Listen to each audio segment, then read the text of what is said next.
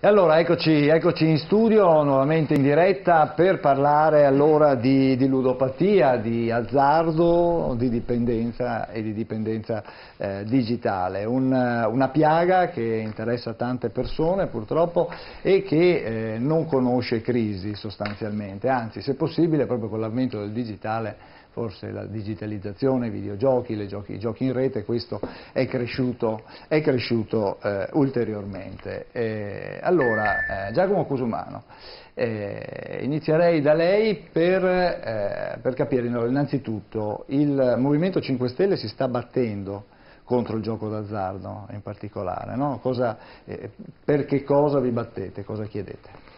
Allora, mm, il Movimento 5 Stelle a livello nazionale, nella figura comunque del nostro senatore Giovanni Endrizzi, che ormai Padovano. quando si qua di Padovano, è un orgoglio per me dirlo perché siamo stati fianco a fianco per tanti anni e vederlo al Senato mi, mi, mi riempie, mi inorgoglisce, mi riempie di soddisfazione. E il Movimento 5 Stelle sta affrontando questa battaglia, la affronta da un punto di vista appunto di malattia vera e propria, ovvero la ludopatia, chiamarlo gioco d'azzardo è sbagliato, è una malattia, non ha niente a che vedere con un gioco, un gioco è un'altra cosa ed è eh, una, una, delle piaghe eh, che abbiamo qui in Italia e che va crescendo purtroppo con l'aumento eh, della povertà, con l'aumento di quello che è magari delle situazioni di indigenza. E quindi è un problema su un altro problema.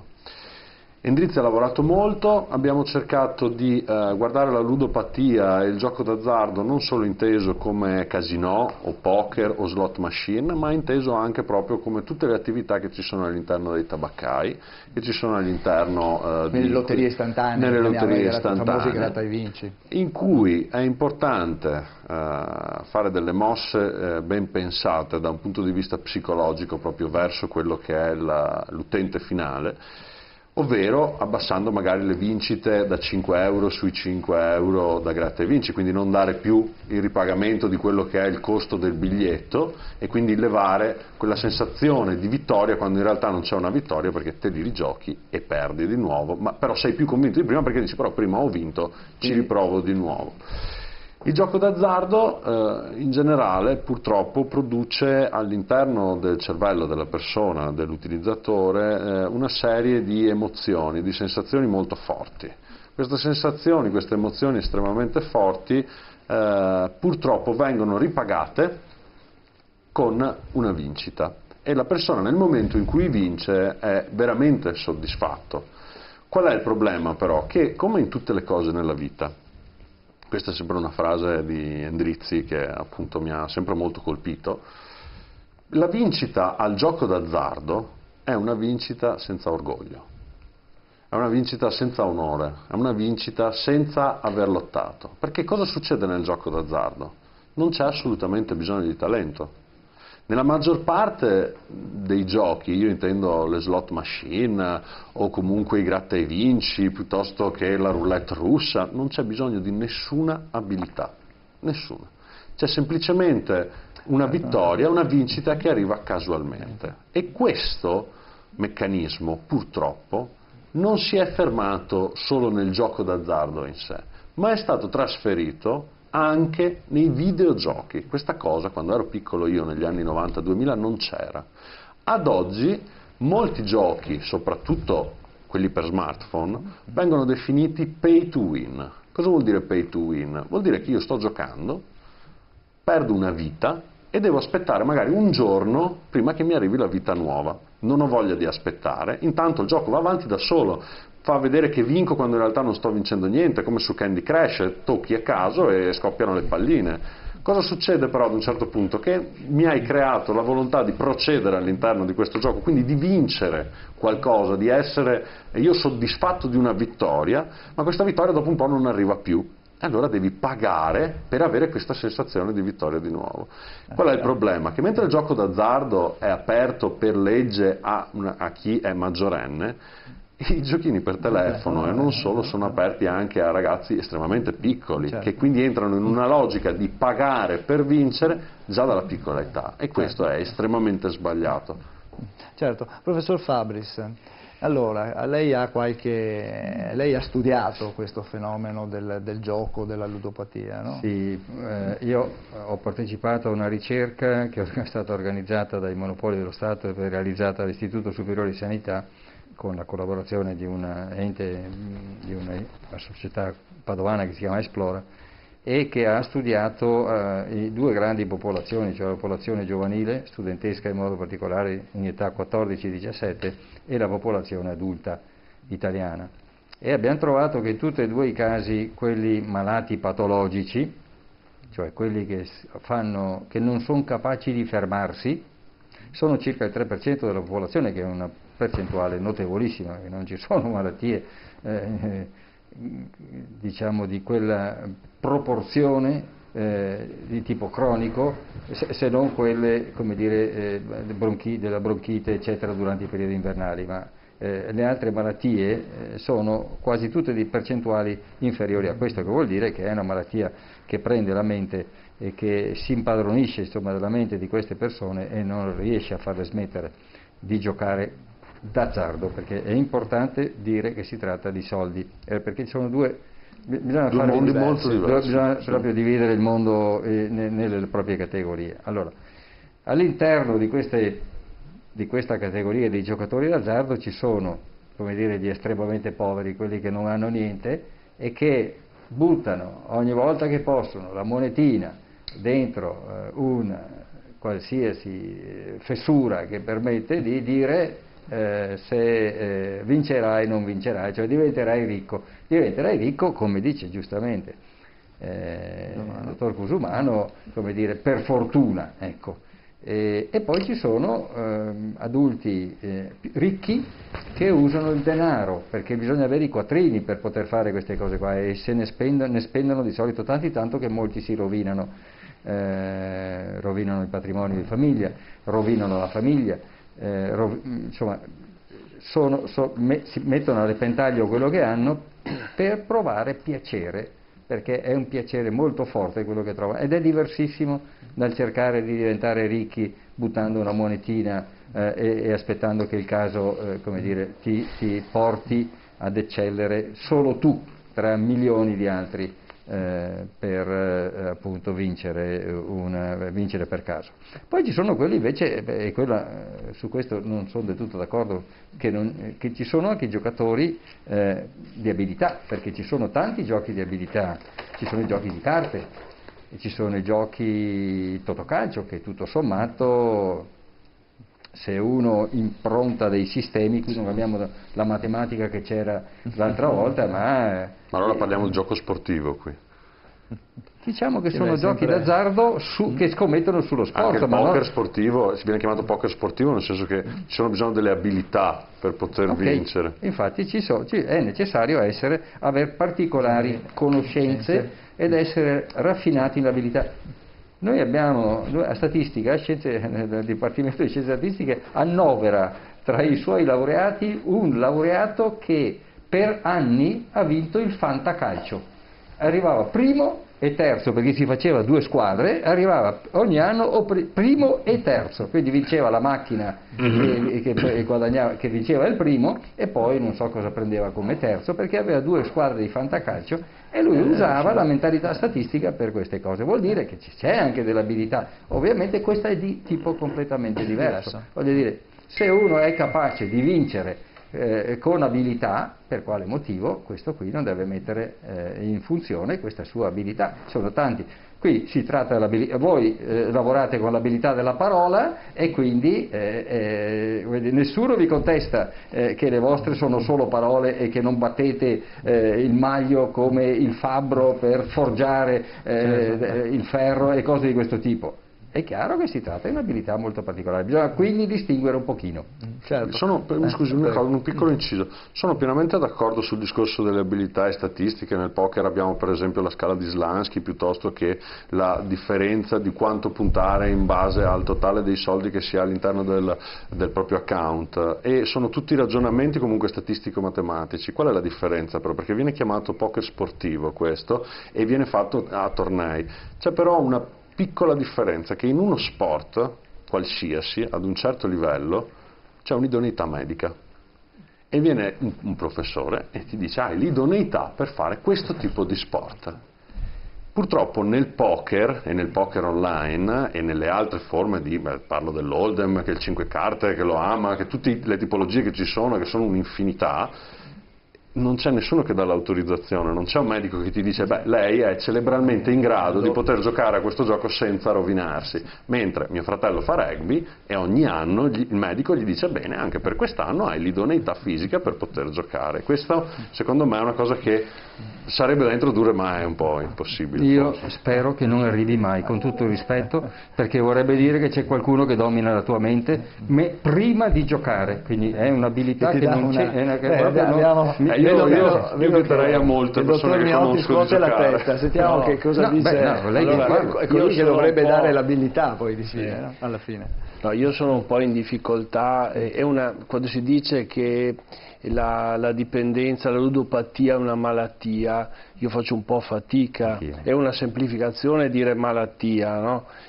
come l'alcol, l'alcolismo è una malattia, sì, se si semplifica e si dice che è una malattia, in realtà è uno stile di vita che si apprende e che poi crea una dipendenza, cioè anche il gioco, l'esperienza del gioco è un'esperienza normale che però poi il cervello sottoposto alla dopamina e all'adrenalina sviluppa dei meccanismi eh, di dipendenza.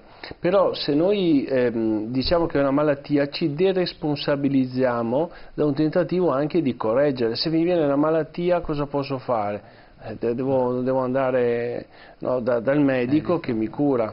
Ecco, quindi, quindi non vorrei neanche... Di... Mm. Prego. No, no, no, no, qui è una sorta di giustificazione, diciamo, sono ammalato e, sì, quindi, e quindi, devo ricorrere al medico. Esatto. Mm ci deresponsabilizziamo in questa maniera. Ecco, invece la, la, proposta, o comunque diciamo, quello a cui accennava eh, Cusumano, che, eh, perché non eh, dire, abilitare, dare una sorta di patentino, no? e quindi che ci fosse una, un medico, uno psicologo che eh, attesta la, la, dire, la L'idoneità. È, un po' difficile, perché l'idoneità dovrebbe essere una scala dove misuriamo la, il rischio di sviluppare una dipendenza del soggetto. Allora, se noi pensiamo che nasciamo tutti dipendenti da, da, dalla mamma, No? Allora siamo tutti potenzialmente dipendenti. Qual è il problema? È il grado di dipendenza che ciascuno di noi svilupperà. Però di per sé noi siamo tutti dipendenti, non è che eh, nessuno è esente. Abbiamo tutti quanti Quindi, una credo che sia proprio irrealizzabile questa cosa. No, è, è, chiaramente no, vabbè, irrealizzabile. È pericoloso. È chiaramente irrealizzabile. Cioè, Questo senza un, no, no, è una provocazione. È una provocazione. Nel senso che conosco persone che si sono mangiate in una settimana cifre mm. come 20-30 mila euro e le società che gestiscono comunque il gioco online non è che gli bloccano l'account no. perché hai finito il conto in banca, anzi continuano a mandargli la pubblicità in ogni dove e, e, lui pensa tuttora che dice ma magari mi faccio prestare i soldi e gioco così vingo. E lì è, e lì è grave, non ce n'è uno, purtroppo nella mia vita ne ho conosciuto tanti anche perché eravamo a scuola assieme, siamo cresciuti assieme e hanno preso percorsi che inspiegabilmente, io sono diplomato geometra e quindi eh, avevano una professionalità anche da vendere, voglio dire, certo, non avevano certo fatto un liceo scientifico, per tutto rispetto per i licei, però non ti preparano a una professione diretta.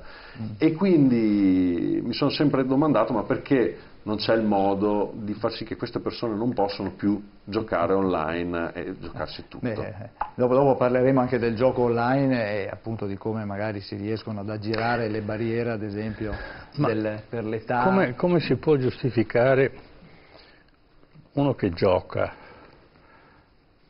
e noi parliamo di ludopatia come se fosse una, una cosa leggera, quindi un gioco, quindi io invece credo che quando si gioca, soprattutto con giochi facilmente ripetitivi, perché è un discorso diverso se uno gioca ogni settimana con il totocalcio, ha un distacco, diciamo, non, ha, non è un, un'attività sequenziale e di conseguenza c'è un momento di tregua e forse si innescano meccanismi diversi. Poi la speranza di vincere c'è sempre. Ma in quei giochi lasciamo stare quelli che necessariamente nascono come aggressivi, anche quelli il, le slot machine sono aggressività nei confronti dell'altro, perché l'altro ti porta via denaro e tu vuoi recuperare quel denaro. Non c'è solo la speranza, ma c'è una forma di aggressività e di rivalsa nei confronti della macchina. È lì che la macchina, credo, certo. ti frega, perché ovviamente sono fatte, costruite apposta perché tu alla fine devi perdere, no? pare che Cartesio inventò la roulette, no? e era un matematico, quindi aveva fatto in maniera tale che alla fine, alla lunga, il banco vincesse sempre. Allora, è aggressività e, e noi la facciamo passare per gioco. C'è qualche collegamento, lei che è uno psicologo, eh, come si può entrare nel, nel comportamento della persona e quindi capire qual è la pulsione che lo stimola, oltre al fatto che magari viene ricompensato, ha speso 1000 euro, ne ha portati a casa 100 e si ricorda solo che ha, preso, ha vinto 100 euro. Eh, ci sono anche queste patologie. Io ho conosciuto alcune persone che andavano al casino, dicevano sempre che avevano vinto, poi erano sempre senza soldi. No, questa è la psicologia. E quindi quanto, quanto influisce il, la forma mentale e la ripetitività del gioco? Perché ricordiamo che i famosi kamikaze, che poi erano eh, anche i, i, gli assassini, no? venivano educati nel ripetere costantemente sempre la stessa cosa. Quindi leggevano una, una sura del Corano e la ripetevano all'infinito in maniera tale che si autocondizionavano ed erano quelli che poi andavano facilmente ad affrontare la morte. Ecco, quindi c'è un meccanismo, c'è un sì. meccanismo per esempio in televisione. La pubblicità, cosa che io scoprì in tempi non sospetti quando lavoravo a Capodistria, che non vale tanto il bel segnale pubblicitario quanto la ripetitività del segnale, perché quello che tu conosci meglio di me, più ripeto la stessa cosa, più diventa concreta, reale, anche se è, nasce da fantasie. Ecco, sì, la, la, ripetitività è un, è un, fenomeno quasi ipnotico sì. cioè, e quindi va ad agire su, de, su, dei centri del cervello ben specifici e quindi ha sua, anche un suo fondamento. Quindi un messaggio che apparentemente ha poco valore, non è così eclatante, però ripetuto ha questa sorta di effetto ipnotico per cui la persona viene condizionata quindi è, estremamente potente. Quindi non è tanto il gioco come si diceva una volta alla settimana uno gestisce il totocalcio, ma se io posso giocare ripetutamente ho un, un invito costante e divento poi dipendente, cioè tendo a ripetere in maniera più assidua. L'altro aspetto dell'aggressività è interessante. Allora, la, la competizione innesca un'aggressività una, ci va una sana aggressività nel calcio, si dice che uno ha grinta no? quando, quando, gioca. E, e l'aggressività è un antidoto alla depressione. Se io eh, la mia aggressività la reprimo, la butto dentro e questo crea depressione. Il gioco è una possibilità invece di eh, esprimere, la, l'aggressività diventa una vitalità, diventa energia vitale. Mm. Quindi anche nel gioco online, nel momento in cui io frego la macchina, cioè la macchina mi frega perché mi fa vincere una volta, no? Ecco, mi ha fatto vincere. Però poi io voglio, voglio fregarla perché cavolo poi mi frustra continuamente, quindi è vero la dimensione aggressiva, è, tu, però è una, tutto sommato è un aspetto vitale. E quindi bene che ci sia e, e la, si autorinforza l'aggressività poi è anche autorinforzante, mm. scatena le la, le pulsioni, la, le pulsioni l'adrenalina e anche le endorfine in qualche endorfine. maniera quando io la butto fuori sì. e da benessere. Ecco, io vorrei sapere se, quanti sono i maschi e le femmine e la prevalenza dei due generi. È in netta prevalenza maschile. Nel gioco sia adulto sia eh, quello Hai in dei, età, dei in età numeri adolescenziale. Ah, sono, indicativamente? Sono circa uno, uno ogni due, cioè due maschi per una femmina. Ecco. Confermiamo l'inferiorità intellettiva maschile, quindi. Eh, no, eh, Però posso dire una cosa? Allora, Cioè, è- io parto da un ragionamento Prego. che è, eh, che è questo. Eh, mio figlio, che fra l'altro è ingegnere dell'informazione ma faceva controllo qualità, eh, per conto di una società controllava macchine, controllava le roulette, controllava le pompe di benzina, controllava i giochi e dovevano rispondere questi giochi a certi canoni, cioè la macchina doveva vincere, per un- o meglio, il giocatore doveva vincere per una certa percentuale che era in alcuni casi 60-70%, in alcuni casi eh, fino al 90%, in alcuni casi poteva vincere che il 110%, che si poteva verificare, poteva verificare perché le, eh, la macchina è soggetta a movimenti casuali, a, quindi a un funzionamento casuale, però all'interno di binari, quindi esiste la possibilità che la casualità sposti la media anche oltre il 100% di vincita. Detto questo, la maggior parte dei giochi che si conoscono è sotto il 100%, cioè la vince mediamente sempre la macchina. Allora, Uno non può non essere consapevole di questa cosa, basta dirlo. Allora la domanda è se uno lo fa, lo fa perché eh, quelle pulsioni di cui diceva eh, il, eh, lo psicologo eh, sono pulsioni che tutto sommato lo eh, remunerano dal punto di vista della- del piacere, perché prova piacere, prova piacere a giocare. Chiaramente il, eh, non si prova piacere a perdere, si prova piacere a rivincere. Il problema è che non si accorge lo scemo che rivince una volta quando ha perso due volte, questa è grosso modo. E allora la domanda è perché e come si fa a uscire da questa situazione in cui sembra che uno si diventi prigioniero, perché se prova piacere è chiaro che rimarrà sempre all'interno di un determinato circolo. Lo sa e quindi perché lo fa? Ecco, que- e queste sono le domande che dobbiamo farci anche per trovare delle risposte che abbiano un minimo di senso, perché se no è chiaro che stiamo parlando di cose che, non- che è che sembra che sia il nemico sempre eh, il persuasore occulto che sta dietro e che ti ha convinto, ma in realtà eh, c'è una forte convinzione eh, di eh, eh, partecipazione, di voglia di esserci da parte di quella persona, che chiaramente è un po' schiava in quel momento lì, ma che ci è arrivato ad essere schiava con una serie di piaceri uno dopo l'altro. E allora assomiglia molto a quello della droga, per cui anche questo, cioè provi piacere, provi piacere, provi piacere, a un certo momento sei schiavo eh, della, della situazione. Quindi come se ne esce?